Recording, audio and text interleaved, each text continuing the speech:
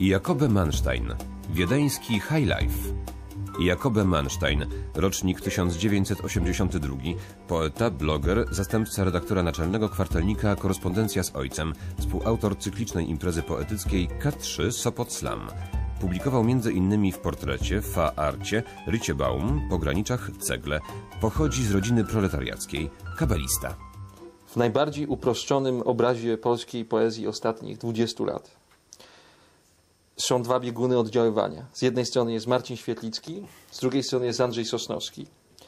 E, dwa bogi, które oddziaływują na młodych e, twórców. Z racji tego, że, e, że czytam debiuty z obowiązku, co jakiś czas wpada mi w ręce albo e, Sosnowsko-podobny produkt, albo Świetlisko-podobny produkt.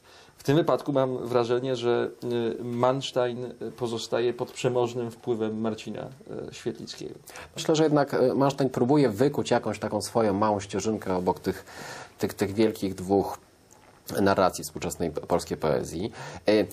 E, On jest bardzo aktywnym blogerem, to jest dość istotne, zresztą podaje to w swojej notce biograficznej. E, e, To blogowanie, to bycie w sieci w, dużej mierze wpływa na, na rodzaj tego tekstu, na jego właśnie formę. Nawet u- ukuło się ostatnio takie w krytyce powiedzenie, że wiersz internetowy to jest wiersz obły, wiersz elegancki, wiersz dobrze zrobiony, wiersz świadom swoich mechanizmów, zwracający się do wewnątrz jakby tych mechanizmów i y, Manstein w tej wersji papierowej wszystko to opanował y, y, doskonale.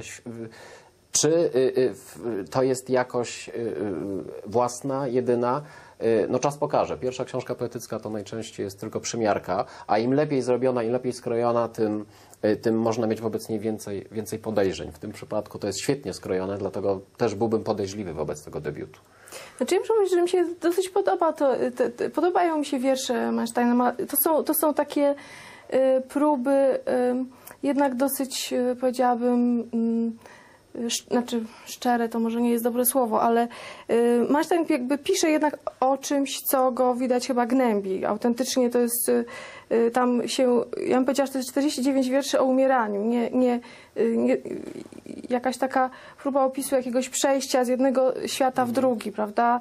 To umieranie, odchodzenie, porzucanie jakichś poszczególnych wcieleń swoich dziecięco, młodzieńczych. To są takie wątki, które tam się pojawiają przez całą tę tę książkę. Rzeczywiście ona jest bardzo dobrze ułożona, bardzo dobrze zbudowana. Są te motywy, które się przeplatają nawzajem i tak dalej. I to jest taka rzecz y, dosyć...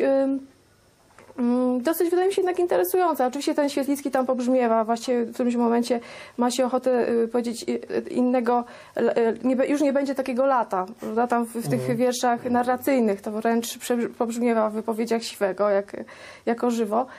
Ale jednocześnie y, wydaje mi się, że to są takie, y, jest to taka próba jakiegoś opisu takiego świata bardzo prostego, y, w, w, zanurzonego w szczegółach, bardzo tak blisko przy ziemi, ale w tym dobrym znaczeniu tego słowa. Tak, to, to, to jest jakiś elementaryzm, no, ale wydaje mi się, że najbardziej autentyczny Majsztan jest tam, gdzie wprowadza figurę. Nomen omen Marcina, tak? To jest ta figura, która umiera, obumiera, jest jakby podana w procesie umierania i w różnych wariantach umierania i to umieranie właściwie jest tam mnożone przez przypadki. Y, To nasilenie jakby tej, tej takiej tanatozy właściwie, to jest, to jest coś, coś bardzo mm, y, przejmującego oczywiście w tej książce. I tak jak mówisz, daje efekt pewnej autentyczności, takiej laboratoryjnej autentyczności. Miłej lektury. Do zobaczenia za tydzień.